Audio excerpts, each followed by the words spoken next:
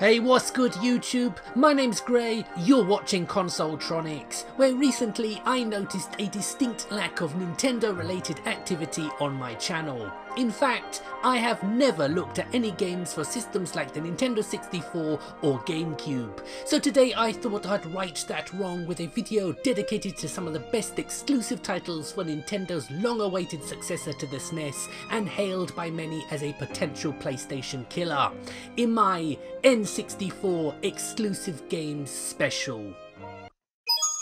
It's me, Mario! There's a good reason why Nintendo are considered the Walt Disney of video games. Their games simply ooze an undefinable magic that no other studio can replicate. While many 2D franchises grappled with the newfangled 3D technology, Mario simply stomped out the opposition with his size 12 Italian boots. I haven't played this in donkey's years, but damn it, it still looks the business and plays just like I remember. A fantastic game that has truly stood the test of time.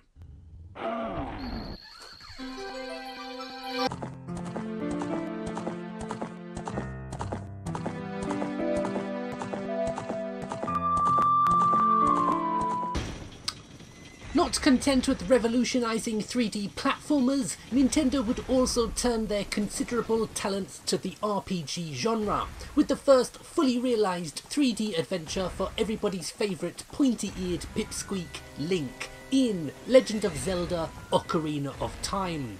Rather than lose something in the transition from 2D, it would instead gain so much more in terms of charm, richness and scale. A pioneering work that is rightly held up even today as one of the greatest video games ever devised. As someone with little interest in driving games, it might surprise you to learn that I am such a big fan of the F-Zero series. Back in the 90s though, all my friends were playing Wipeout and its sequels on the PS1. But for me, F-Zero on the N64 was, and still is, by far the better game. Hard as old boots and us veterans of the 16-bit version wouldn't have it any other way. Great game.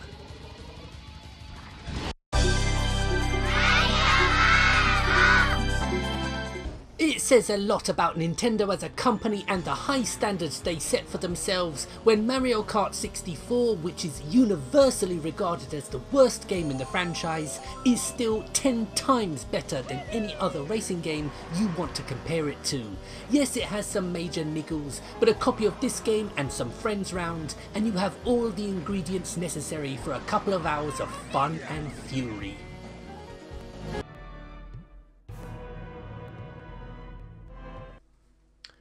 Well, after showing off many of the games most of you already know, I thought I'd hit you with one of the more obscure titles, because this game is almost unheard of outside of hardcore RPG circles, which is a real shame as this ambitious but deeply flawed adventure is one I think many of you would enjoy.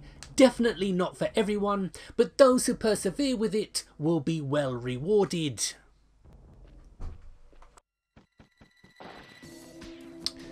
And speaking of perseverance, we come to the treasure developed platform curiosity that is Mischief Makers. This is a game that has been misunderstood and underappreciated since its release, simply because so few took the time to learn the game's controls properly. This isn't a hidden gem, it has been deliberately ignored by the same idiots who claim that video games nowadays are all the same. Seriously, check this one out.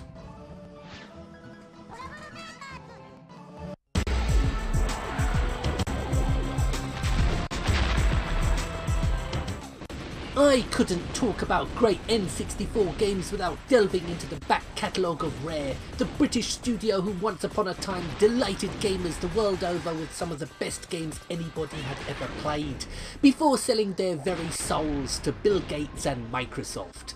Blast Corps was one of the first titles I bought for my N64 way back in 97, and still a contender for one of my favourite games on the system.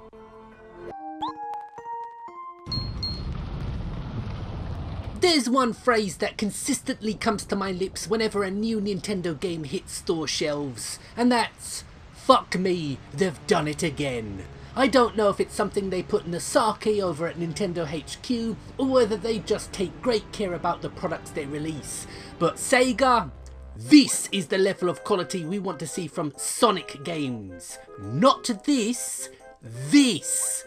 This is the standard that every other developer should be striving for. Ah,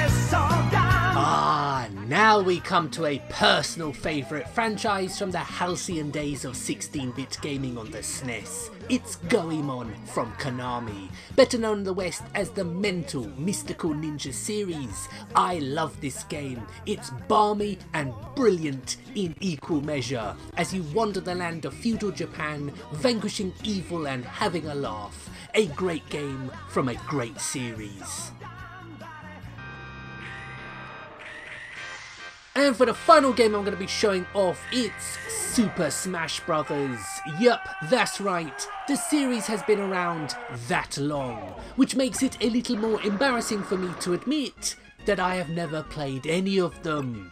What you're looking at here is actually my very first time trying this bonkers beat 'em up featuring a roster of Nintendo's most popular characters slugging it out. And I like what I've seen so far and will be putting some more time into this one and maybe the sequels as well because I finally get to perform a long held ambition I've had of beating the shit out of Yoshi. So that's your lot folks, I know there were a lot of others I could or should have included like GoldenEye, Perfect Dark, Diddy Kong Racing or Conker's Bad Fur Day, but if this video gets enough views I will be back with a follow up.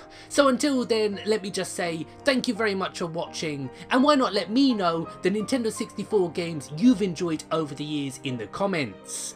I'll have more videos up very soon, so please like, share and subscribe, and I'll see you again soon.